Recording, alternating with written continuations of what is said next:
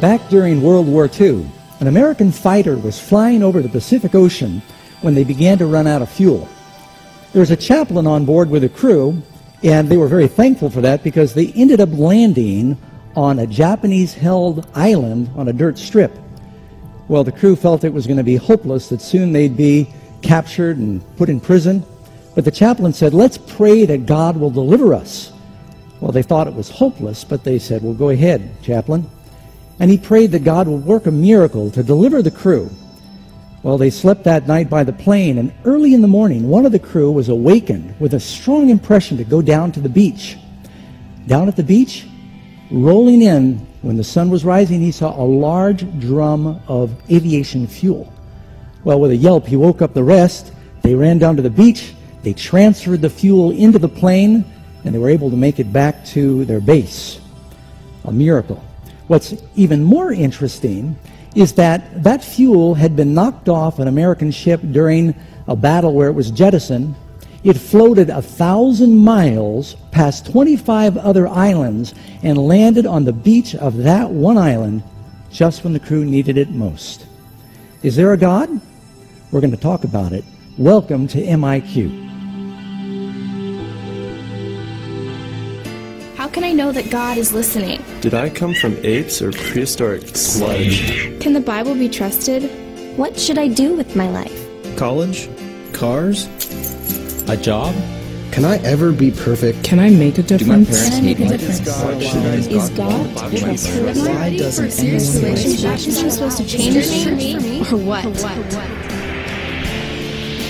MIQ. Your questions, God's answers. Really exist? The answer to this important question will affect every other question. Join us now for MIQ. Good evening, friends. Welcome to MIQ, Most Important Questions. My name is Jean Ross, and I'll be your host on this exciting adventure, and we'll tackle some of the most challenging questions, the most important questions of life. I would like to welcome our local audience here in Cedar Lake, Michigan. And a big thank you to Great Lakes Adventist Academy for hosting this event, and also a big thank you to 3ABN for the filming and the production. To those of you who are watching us across the country and around the world, we'd like to extend a special welcome to you. We're delighted that you have joined us on this exciting adventure for truth. Now, if you have a Bible question, we'd like to hear from you you can actually send us a text message with your Bible question. I will give you the number in just a few moments, but for those of you who are watching and those here in the audience, we're going to try to answer as many questions as possible during this series. So if you have a Bible related question, the number to send that question to is 7605 AFACTS. That number is 760 523 2287. Send us a text with that message, and we will try to get to as many questions as possible. Now, to aid you in your adventure for truth, Amazing Facts has put together a great resource. We have a series of lessons that have been especially written for the programs. Uh, these lessons are filled with fascinating facts and great illustrations, scripture, Bible answers. And if you'd like to find out how you can receive your amazing, uh, or rather, most important question book filled with amazing answers, go to the MIQ Teens website. That's miqteens.com. We also have a very special theme song that we'll be singing each evening, and it's a song that was just written for the series. I'd like to invite our song leaders to please come forward at this time for that song. Now, as we sing the song, please look on the screen, notice the words, because we're going to ask for your help immediately following that. After our song, we will have Christy do the prayer. Let's stand as we sing together.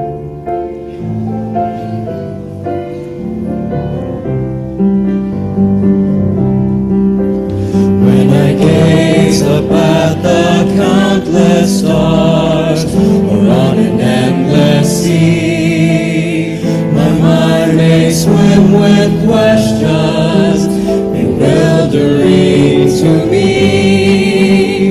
But then I read the Bible and seek your face in prayer. I'm satisfied, remember.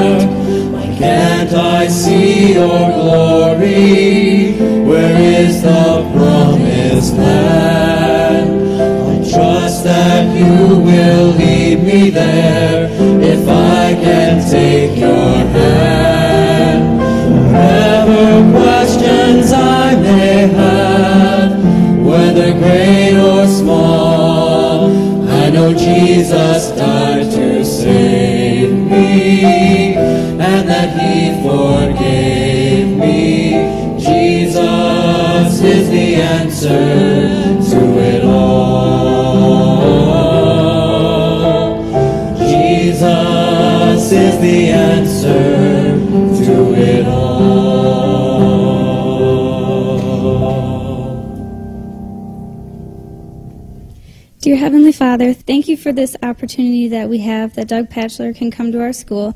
Please help many lives to be changed this next week. Please give us all a blessing as we listen to the sermon. We love you so much. In your name we pray. Amen. Amen. You may be seated. Well, did you enjoy that song? I hope so. By the end of this, I think we'll have the words memorized. Now, this is a brand new song, Pastor Doug. I guess um, it was being partly written today, just before some changes made. There, there, your little finishing touch is still happening. So, one thing that we don't have, we don't have a name for our theme song. So, this is where you can help. Those of you who are watching, you can send us a text message with the name of the song. So, um, I'm going to give you that number again, and you can send us a text message with the name for the song that we just sang. That text number again is 7605 Amazing Facts. 7605 AFACTS. Very good. Well, we're so glad that you're all here. We're going to be talking about the most important questions. We call the program MIQ. That stands for Most Important Questions. Now, you can say MIQ, you can say MyQ, or you can say My IQ. It all work. But either way, we're going to be dealing with the biggest questions in life. And so we're going to be taking your questions. Some are coming in through the internet, some are going to be texted in, and uh, some will be in the lesson study book that we have. But I think we're ready to start with We are. I questions think our for first tonight. video, we, our first question is video. Hi, my name is Justin, and my question is Is Jesus God?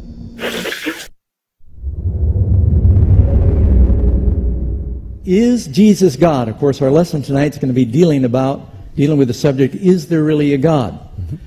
Now, when you say God biblically, you're thinking of the three persons that comprise God: God the Father, the Son, and the Spirit. Even Jesus said, "You baptize in the name of the Father, the Son, and the Holy Spirit." At the baptism of Jesus, Jesus was in the water. God the Father spoke from heaven. The Holy Spirit came down. Some have thought before that God just reveals himself different ways and it's all just one person who kind of uh, changes form and morphs. But in reality, uh, Jesus, God the Father, and the uh, Son, all different persons. Otherwise, Jesus was a ventriloquist when the Father said, This is my beloved Son, and he was in the water. See what I'm saying? It's like you have one family. People get mixed up by when you say there is one God. Hear, O Israel, the Lord our God is one. Deuteronomy 6 4. How can it say one and yet be Father, Son, and Spirit? That really makes people struggle. All through the Bible, it speaks as one being united.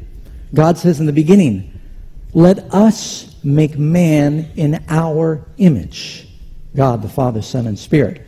And so uh, the three persons comprise our one God, our united God. Well, Pastor Doug, our next question that's coming is a, is a text question, and here's the question. I would like to know if listening to Ozzy Osbourne is okay.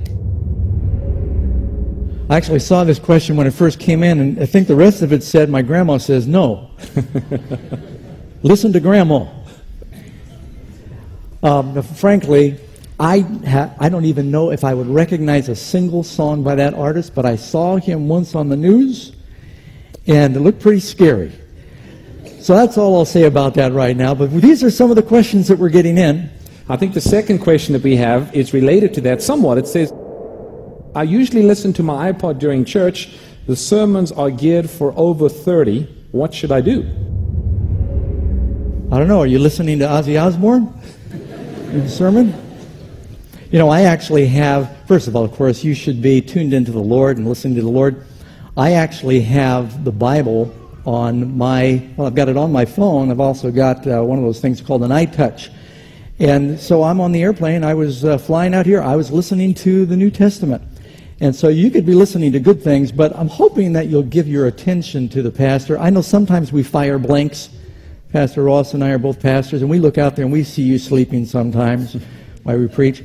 And we've thought before, maybe we'll get even someday and we'll go to sleep while we're preaching and let you see how it looks. Okay, next question. Our next question is a video question. If we're ready to roll that now.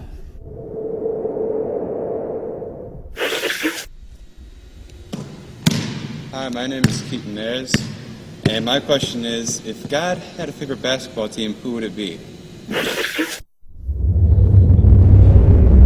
Well, there's a scripture that says we are a nation of priests and kings, and since uh, we're from Sacramento, it'd be the kings.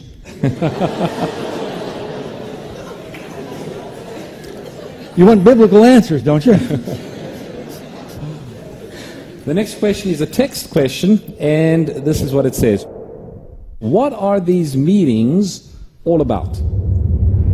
Well, the essence of these meetings is really to talk about the most important questions that deal with life in eternity.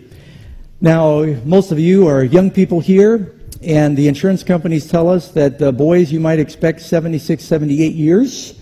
Girls might go uh, 78, 81, 85 as an average, and then you're going to die. There's a 100% death rate in the world. And so you might be thinking about what am I going to do with my life, but you really ought to be thinking about what am I going to do with my eternity.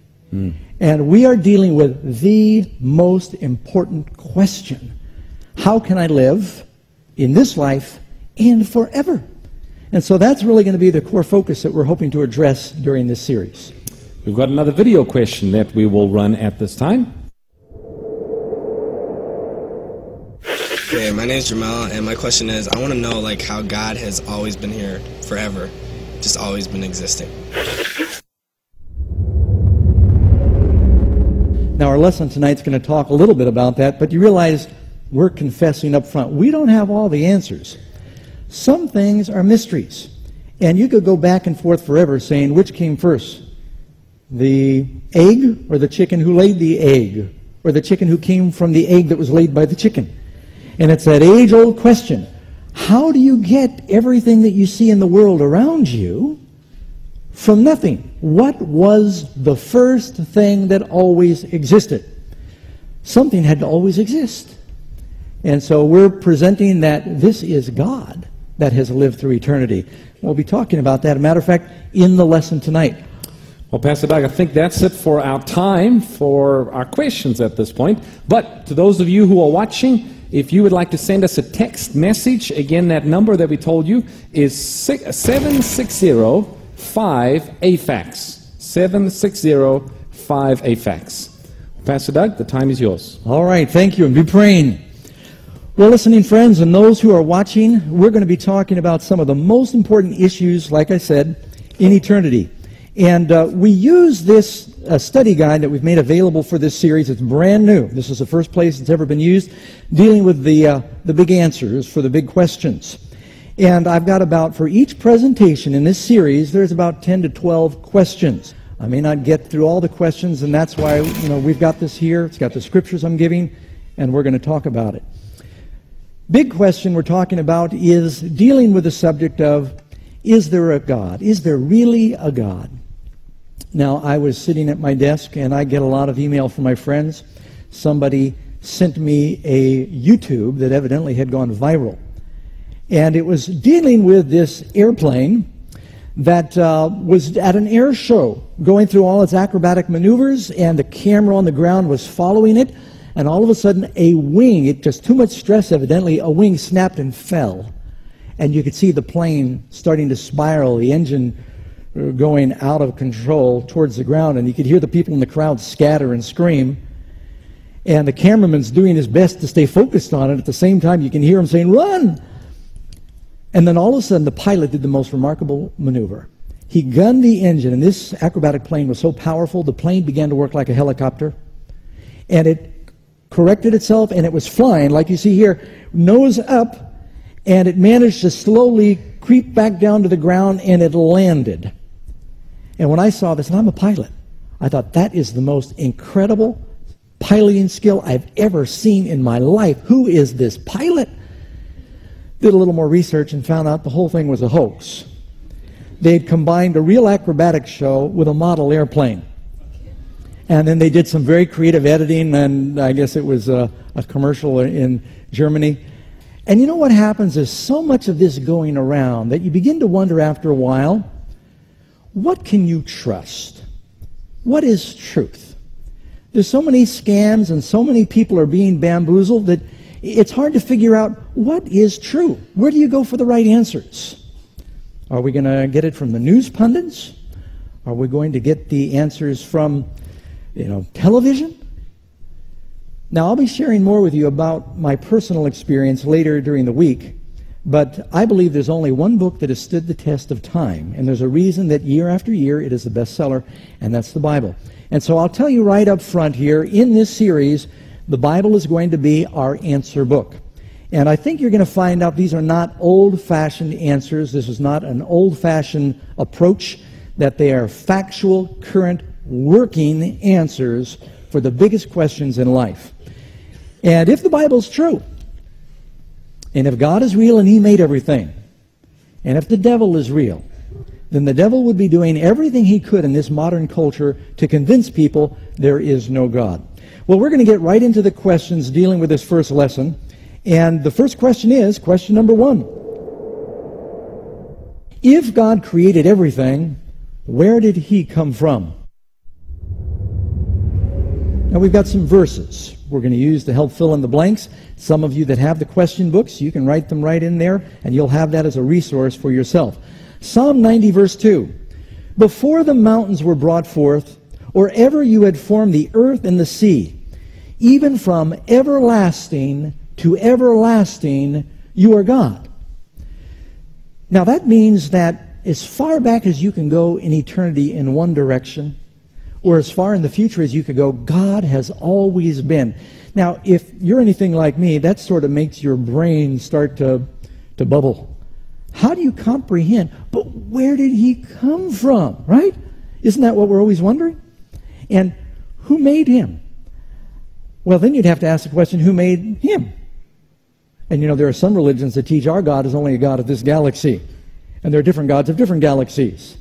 But that's not the Bible. The Bible says our God is a God that made everything everywhere, and He has always existed. Don't feel bad or inferior if you can't comprehend that. Even in the Bible, it says God is past finding out. The Lord says, As the heavens are high above the earth, so are my ways above your ways. And so don't let that discourage you. Question number two. But how can I believe in a God that I can't see? Now, the Bible tells us that God is invisible. Here you have it, and it's from 1 Timothy 1.17.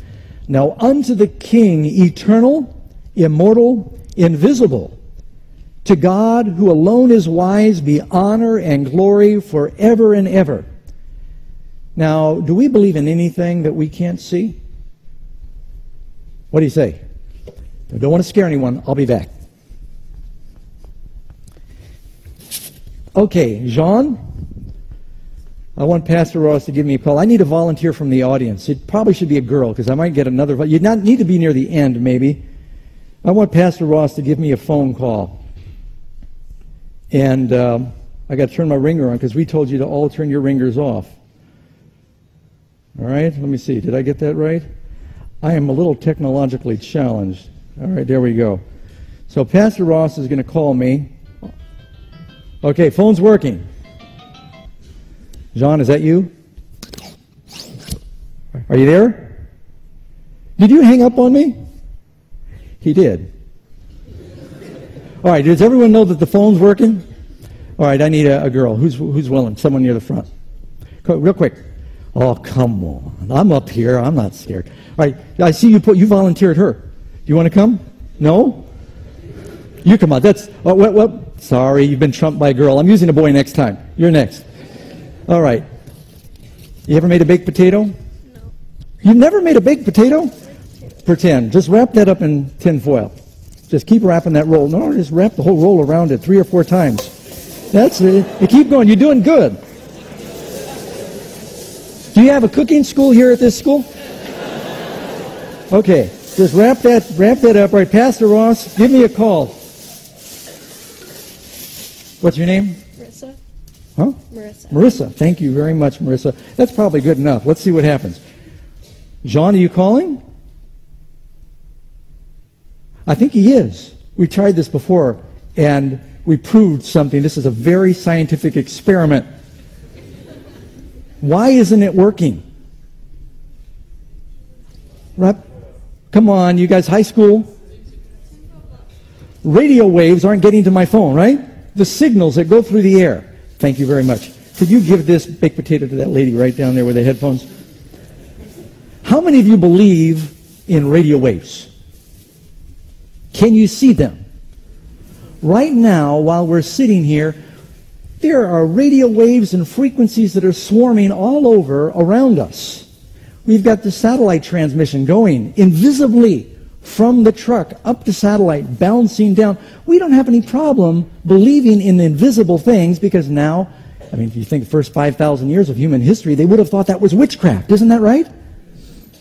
But now we just, we don't even think anything of it. I can remember when I saw my first wireless phone. Most of you don't remember that. And I thought, wow, no wires. So there's invisible things going on all around us. Just because we can't always explain it doesn't mean it isn't true. So it tells us that God is invisible, but that doesn't mean you should believe in him unless he is everywhere. He inhabits eternity. Question number three. What other evidence can I see that speaks for the existence of God? Well, you can read just right in the Bible, the opening words. How many of you know that? It says, In the beginning, God created the heavens and the earth. Everything. Everything that is around us has been created by God. All right, you are going to volunteer. You want to come up? No, the, the uh, gentleman, I'm sorry. Thank you very much. I got to grab something else here. Now, this is a very sophisticated piece of apparatus that we designed for these meetings. Okay? What was your name? Mozilla. Mozilla? Yes. Okay, put that on, and I want you to put it on so you could look through this one hole. Cover up your other eye. That's why I didn't do a girl because I thought it'd mess up her hair. Okay? All right. Now you come over here. No, don't peeking. Just through what you just what you can see. Now I'm going to aim you. Can you see the screen? You see the screen? All right, don't move. Just keep on the screen here for a second. All right, we're putting another picture up here on the screen. Can you tell what that picture is? Uh, keyhole. It's a keyhole.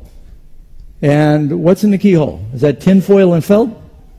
Uh, I think it's, is it the sky? The sky?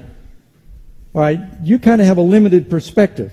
When you're looking through the keyhole, next picture, that's what you're looking at.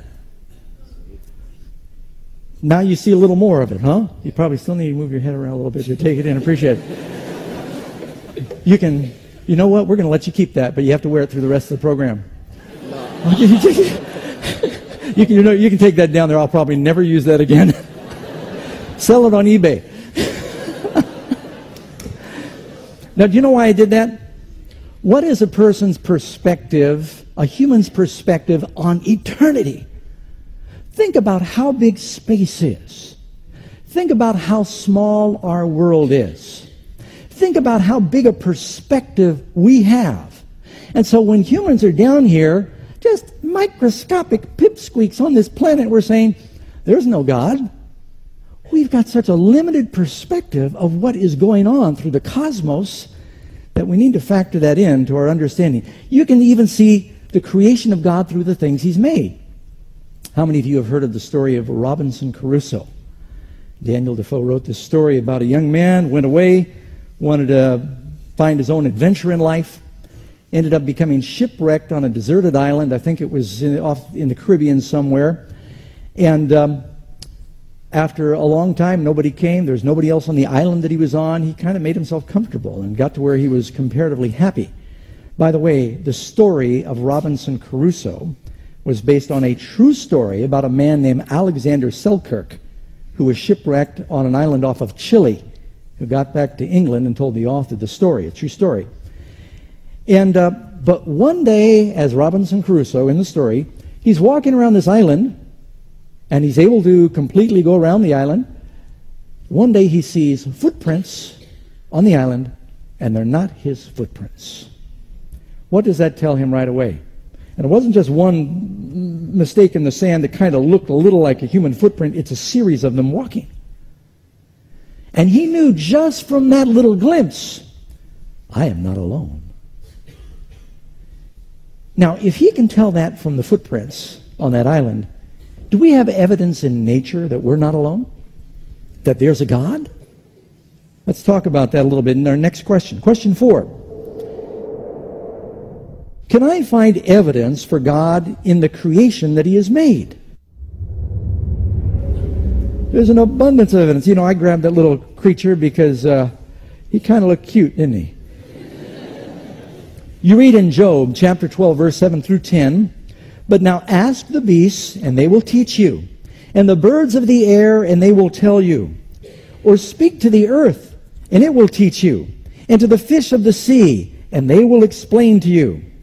Who among all of these does not know that the hand of the Lord has done this? In whose hand is the breath of every living thing, and the breath of all mankind all around the world, you see the evidence for God in the incredible marvels of creation. Now, I should tell you at this point, when I'm talking to you about is there a God, I was raised atheist agnostic. I think I went back and forth a few times. I did not believe, I believed in evolution. I did not believe in the God of the Bible. I thought that was laughable. I thought it was an insult to your IQ if a person said, I'm a Christian and I believe the Bible. I used to pity them, really. And then I moved and I lived in a cave for a year and a half up in the mountains. And while living there, instead of being in New York City surrounded by the things that man made, I was now surrounded by the things that God made, and my whole perspective began to change. I thought, this cannot be an accident. There was too much evidence for creation. You know, I like doing amazing facts. That's where our ministry gets its name. And I did a, a sermon one time, and it's based upon that one scripture that says, Go to the ant, you sluggard, consider her ways. Consider the ant. Do you know there are over 8,000 different kinds of ant? They come in virtually every color, ranging from white and clear and red and blue and purple and green. And even though they're all ants, and anatomically they share just about everything in common, there are some ants, they bake bread. They actually take these seeds up on the ground. When it rains, the seeds sprout. They then clip the sprouts so they stop their growth. They let them dry in the sun. They bring them down. These worker ants masticate them with their mandibles. They mix them into little uh, dough balls, cookies, ant cookies. They take them back up, they dry them, and then they store cookies and they eat cookies. Then you got other ants, like the ones in the picture here, that herd aphids. Little aphids, you know, they suck nectar out of plants and they excrete, or they, they suck the sap and they excrete nectar, and that's what the ants eat. And so they take really good care of their herds like shepherds. And they carry them from one plant to another to make sure they're well fed, and they protect them, and they'll fight for them, and they harvest them, and they stroke them when they want to milk them. And they're just like any old uh, shepherd. All this incredible. And then there's the leafcutter ants. They go around, they cut all these leaves up and they put them down and they wait until the leaves begin to decompose and they don't eat the leaves. Then they eat a special mold that grows on the leaves. And this is just a fraction of the variety in ants. You look at the kaleidoscope of different creatures, the symbiotic relationship between birds and apple blossoms. To believe that all of this just slowly grew over thousands or millions of years, you know, I just I couldn't believe that anymore. There's so much evidence for a designer and a loving God in the things that he's made. Question number 5. But doesn't science tell me that God doesn't exist? I heard about this little boy one day that was, um, he was sitting down with his, a little computer that children use to learn to spell. I think it's called a speak and spell. And he was typing in words, and then it says the word back to you. And so he typed in the word God. It's an easy three letter word, G O D. And up on the screen it said word not found. And he looked around, he typed it in, G O D. Same response, word not found. And his father overheard him saying, Jesus is not going to be happy about this. but that's sort of typical of what's going on here in the world. It's like we're trying to delete God from the equation, even though we are absolutely swimming in evidence for God. So, hasn't science proved?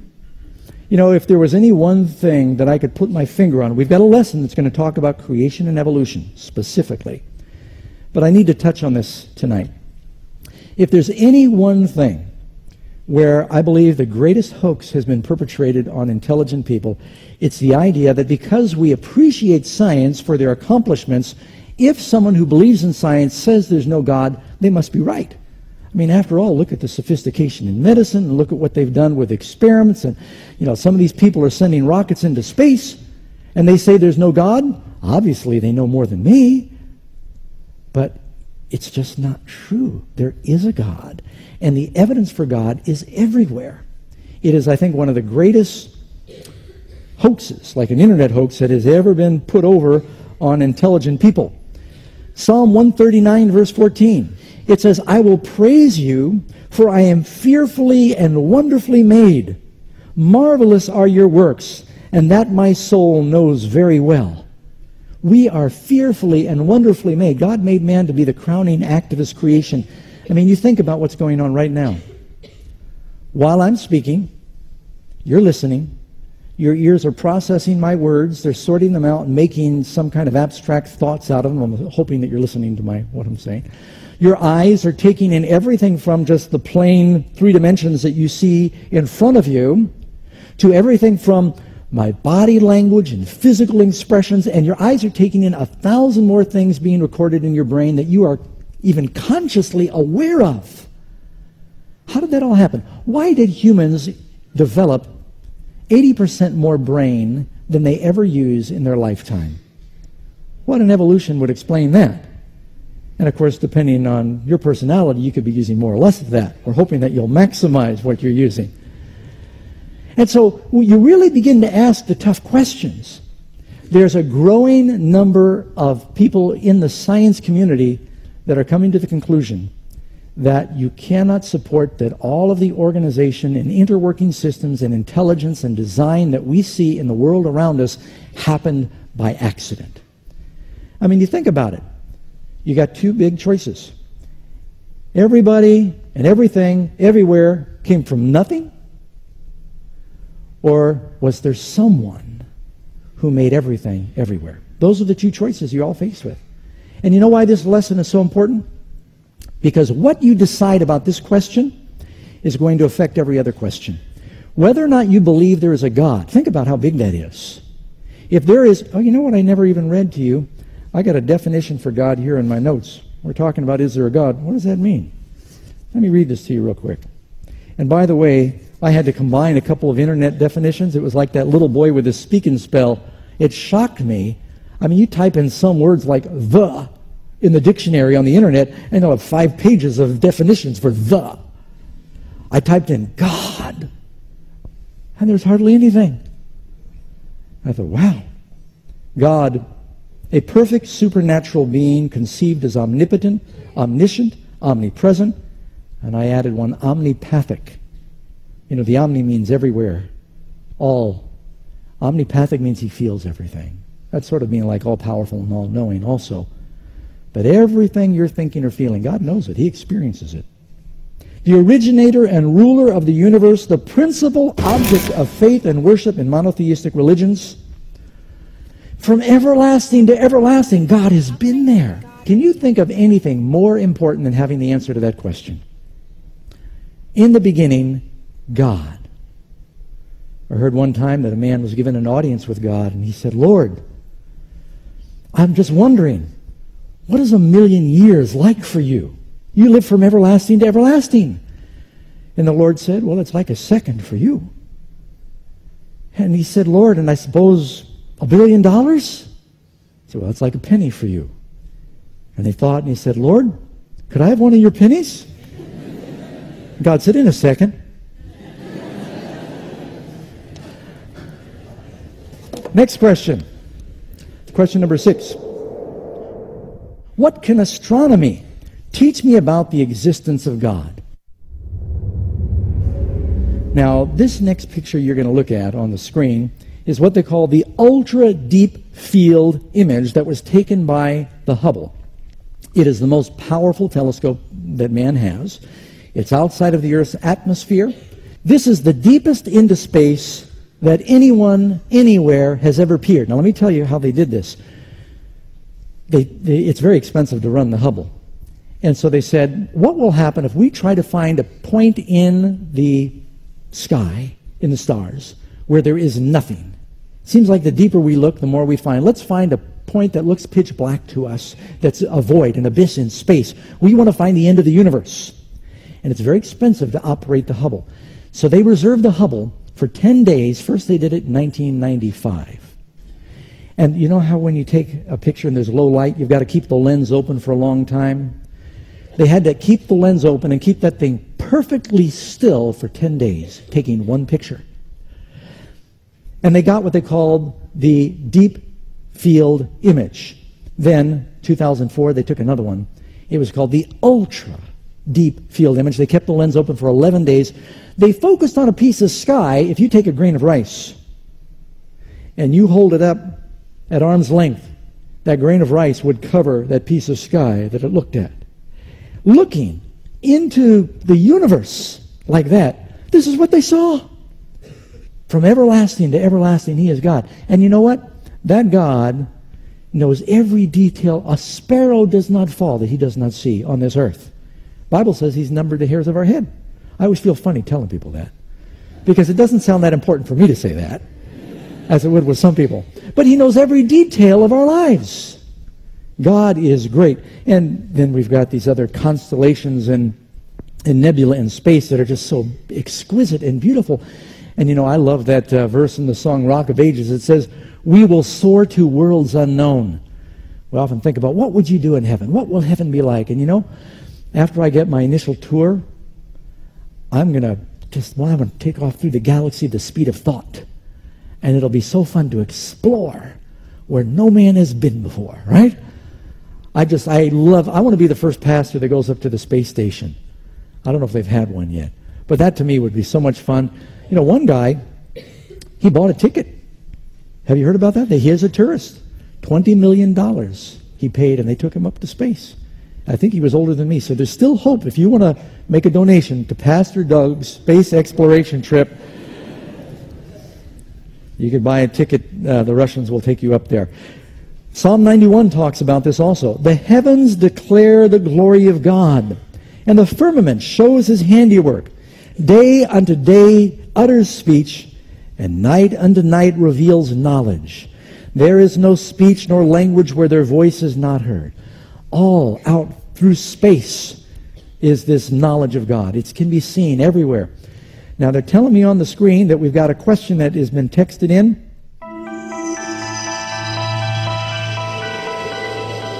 Is there life on other planets? How many of you have wondered that before? Does the Bible talk about that? It appears that it does. Matter of fact, in the book of Hebrews, chapter 1, verse 2, it says, God who in sundry times and divers places spoken to us in times past through the prophets has in these last days spoken unto us by his Son, through whom he made the worlds plural. So it isn't just our world. He's made worlds. And then you look in the book of Job, chapter 1, it says, There was a day when the sons of God came to present themselves before the Lord. Satan came also, and God said to Satan, Where'd you come from? He said, I came from the earth. Here's some celestial meeting taking place. When you think about the vastness of space, it's hard to believe that the only ones alive are here on earth. The Bible seems to tell us that of all the sheep that God has through limitless space, this world is that one lost sheep. And Jesus, our shepherd, left the realms of heaven, come to this world to seek this lost planet. Because everybody in this world sins, right? We're all lost down here. So he came to retrieve this lost world. All right, question number seven. Can questions of right and wrong help me understand the existence of God? Romans 2:15. It says, speaking of the Gentiles, these were the unbelievers, who show the work of the law written in their hearts, their conscience also bearing witness, and between themselves their thoughts either accusing or else excusing them. It means that everybody is born with sort of an inner knowledge of the existence of God. You know, I saw a study, and I, I just captured this off the internet, uh, that they had a question about the, the moral behavior. Professor Paul Bloom, yeah, Professor Paul Bloom of Yale University, he demonstrated through careful research a number of tests that even babies as young as six months old have a built-in moral sense of what right and wrong is. It says a growing body of evidence suggests that humans do have rudimentary moral sense, and this is not a religious journal, a rudimentary moral sense from the very start of life with the help of well designed experiments, you can see glimmers of moral thought, moral judgment, and moral feeling even in the first years of life. Some sense of good and evil seems to be pre wired in us. And what they did is they took these babies and they had puppets. And they kind of had one puppet beating up on another puppet. And the babies watched that. And when the babies were given the bad puppet, they recoiled. They didn't want it, but they wanted to hug the good puppet. And then they saw puppets that were helpful to other creatures. They understood that, and they liked those, but the ones that were mean, they didn't like those. They were able to take in the sense of something being good and bad. But if evolution's true, and if it's all survival of the fittest, you'd think the little child would have been cheering the mean puppet that was beating up on the helpless puppet. Survival of the fittest. Good for you. I mean, based on liking the good guy, we'd be extinct. Right? But it seems like from the very beginning, our hearts are pre wired with a moral sense of what is right and wrong. Question number nine If God is love, why is there so much pain, evil, and suffering in the world? Well, that's the big question, right? Everybody wonders if God is good, if God is loving, and if He's all powerful, why would God make a devil? Uh, why, if he's all powerful, why doesn't he snap his fingers and destroy the devil? What happened? Well, that's another whole study. Uh, Amazing Facts did a, a, DVD called Cosmic Conflict that deals with where did sin came from, the origin of the devil. And God is a loving God, and He creates all of His creatures free.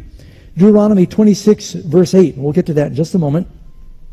So the Lord brought us out of Egypt with a mighty hand and with an outstretched arm, with great terror, with signs and wonders.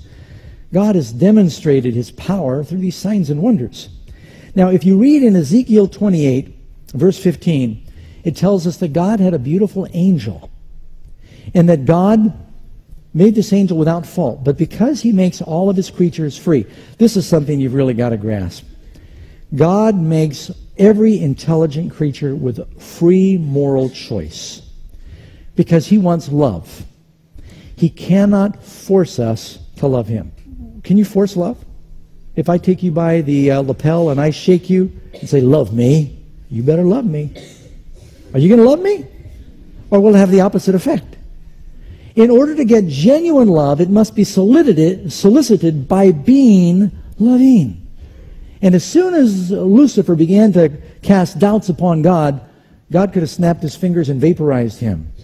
But then what would the other angels have thought? Maybe Lucifer's right. God is just bullying all his creatures. Lucifer was the highest of his angels. He was perfect, the Bible says. You were perfect in your ways from the day that you were created till iniquity was found in you. Now, I told you at the onset, we don't have all the answers. When you say, Who made God? From everlasting to everlasting. I can't comprehend that. But it's easier for me to believe in that than nebulous gas particles that were floating out there in space that exploded and created all of the order and systems and design that you see in the world. And you might ask, if God is good, then where did the seeds of selfishness and evil come from? Well, I don't have an easy question or answer for that question because he makes his creatures free. Some choose to be selfish. Adam and Eve had two principal sons. What were their names? Cain and Abel. Same mother, same father, and they had the same grandfather, God. Right? One was good and one was bad. Why? Because they chose. God has given you the greatest gift that any of his intelligent creatures have. You've got the ability to think in the abstract and to choose, to understand, to communicate with God in a way no other creature has. And you can choose to be selfish. If I was to summarize who God is. Well, He does it for us. God is what? God is love. Now, if you were going to use one word to summarize the devil or evil, by the way, if you just add the word D to evil, you got devil. Right? If you were to summarize him in one word, it's the antithesis of love, which is selfishness. And the big battle that you and I go through every day, my biggest battle, I'm so selfish. I naturally always think about myself. You know, whenever happens, I'm going to find myself thinking, I wonder what that will mean or how will that affect me. And it really takes a miracle of the Holy Spirit for us to start thinking lovingly about God and about others. And it's a gift that God gives us. It's a new heart. And He transforms us. Question number 10. Is the devil real or just the dark side of people's imagination? You know, some people think, oh, the devil isn't real. It's just, you know, people have a good side and they got a bad side. When they behave badly, we say it's the devil, but it's just really them. Just because you can't see him doesn't mean he's not real. The Bible says we don't wrestle. Matter of fact, let me get to this. Ephesians chapter 6, verse 12. It says, For we do not wrestle against flesh and blood. The Bible admits it's a spiritual, invisible force, but it's very real and personal but against principalities, against powers, against the rulers of darkness of this age, against spiritual hosts of wickedness in heavenly places. Yeah, the devil is very real. During uh, World War II, bombs were dropped on Hiroshima and Nagasaki, and after the initial damage that was done by the blast itself, a lot of people were then made sick by something called radiation like the radio waves we talked about earlier, they were invisible, wreaking terrible damage, and the people didn't see it. Initially, they didn't feel it. They could not smell it, but it was an evil that was destroying them. That's why people tell you put on sunblock, right? Any of you ever played out in the sun too long? You didn't know it at first. And so the devil is real. And you can feel this battle going on in our hearts between good and evil. Question number 11. How can I know the power of God is stronger than the devil? Now, that's the real thing we're asking. Tonight we're saying there is a God, and God is good, and God is real, and He is awesome. He inhabits eternity. Matter of fact, one thing that confuses us about God God exists 100% in the present, God exists 100% in the past, God exists 100% in the future, and I think that kind of throws us right now. God is not confined to time. Einstein kind of helped us realize a whole new way of thinking about time and space. God can live in the future. He can take a prophet and show him the future with perfect accuracy. Isn't that right? What kind of power makes that possible? Where God can predict something down to where an arrow is going to land thousands of years ago, and that arrow finds the joints of Ahab's armor perfectly. He's all powerful. And then there's an evil force. The good news is greater is he who is in you than he who is in the world. The devil, the prince of darkness, has been quarantined to this planet. He is restricted here. He goes to and fro here on the earth, the Bible says. Jesus calls him the prince of this world. He's been isolated here. And the only way for us to be successful in this life and to come out victorious is to invite the power of God and the light of God into our hearts. What's the best way to get rid of darkness? To invite light in. You know, I heard about a, uh, a photographer up in the northwest of a uh, big newspaper, and there were some forest fires that were going on at the forestry not far from the city, and they assigned him to go get some pictures, a photographer for the paper, go get some pictures of this forest fire. Well, they needed to rent a little small plane so they could take him up and fly him around. He could snap the pictures. He got stuck in traffic. By the time he got to the small airport, he was late. There, the plane was already warmed up and running, door open, waiting for him on the runway. The photographer grabbed his bag. He ran out. He jumped into the plane. He told the pilot, head out there towards the national forest. And the pilot took off, started flying over there. He said, I want you to go out there towards the smoke. Pilot took him out over towards the smoke. And he began to tell him to make some twists and turns. The pilot, uh, the photographer, took out his camera, started taking pictures. And the pilot began to look a little nervous. And the photographer said, What's the problem? And the young pilot said, So you're not my instructor, are you?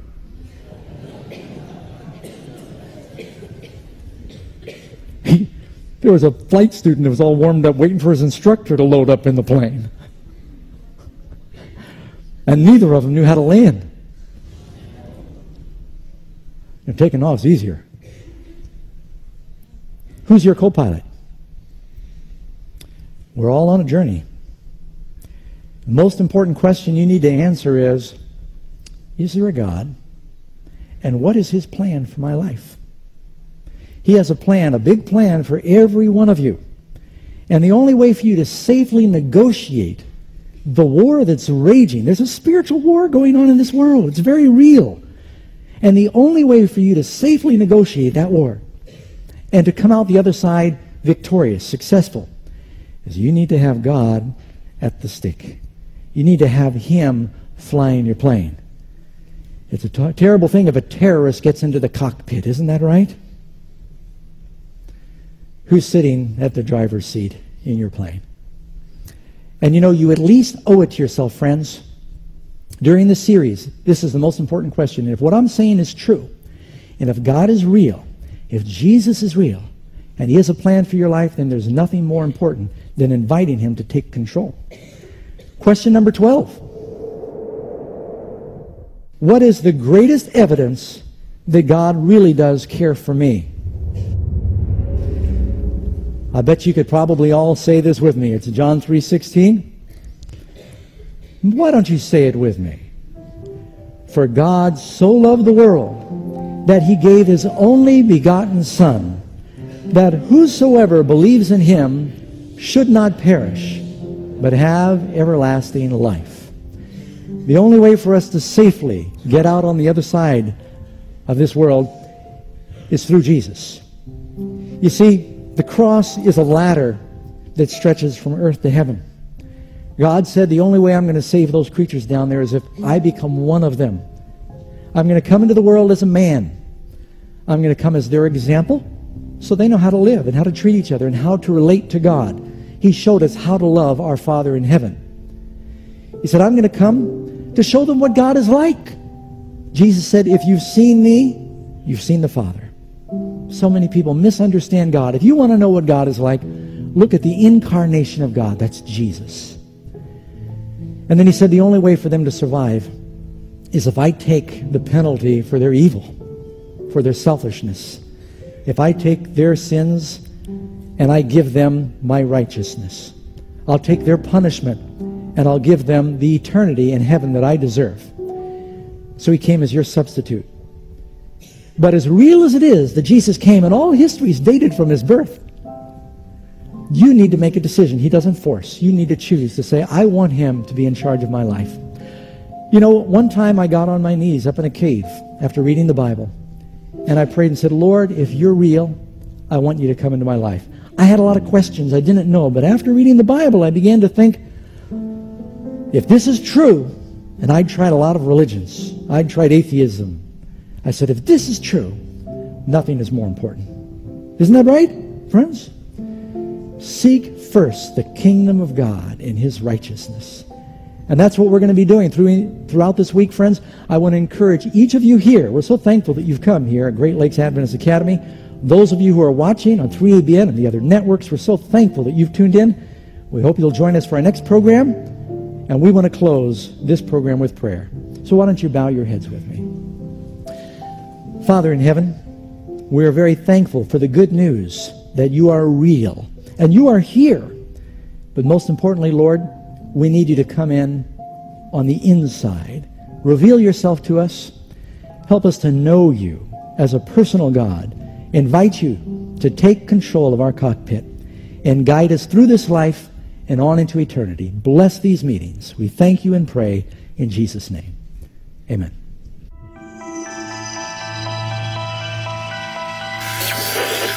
Thank you for watching this episode of MIQ. During our next presentation, we will be tapping into the Bible, history's bestseller. You won't want to miss this. See you then.